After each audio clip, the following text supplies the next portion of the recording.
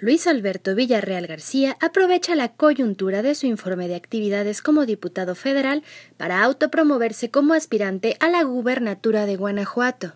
Esto tiene lugar poco tiempo antes de que termine su periodo en la legislatura y tres años antes del proceso de renovación del Ejecutivo Estatal.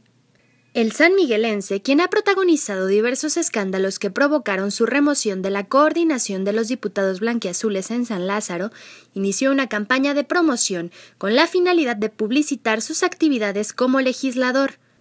Esta cuenta con spots, videos en redes sociales, colocación de espectaculares en diversos puntos de la entidad y una gira en varios medios de información.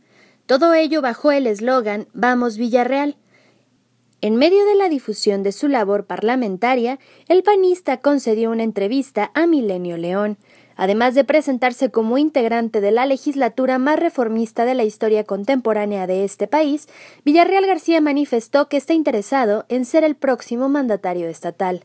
Por supuesto, a mí sí me gustaría en 2018 ser gobernador en el estado de Guanajuato, no tengo ninguna duda, para mí sería un privilegio, dijo a este medio de información.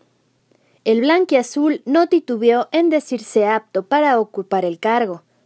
Y tampoco tengo ninguna duda de que tengo las capacidades y la experiencia de poder resolver problemas que nuestro Estado enfrenta y de mantener y sostener el rumbo sostenido que tiene Guanajuato. Estas fueron las palabras literales de Villarreal García. Posteriormente, y tranquilizando sus ímpetus, el legislador mencionó que será necesario privilegiar lo que más le convenga a la entidad. Si soy yo esa alternativa en el 2018 en mi partido y esa alternativa para los guanajuatenses, yo pondré lo mejor que tengo como siempre lo he hecho en los cargos en que me he desempeñado.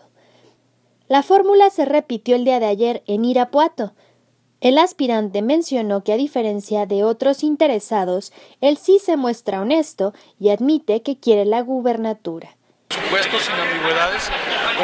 Persona que está en la política, a mí sí me gustaría en algún momento ser gobernador de mi estado.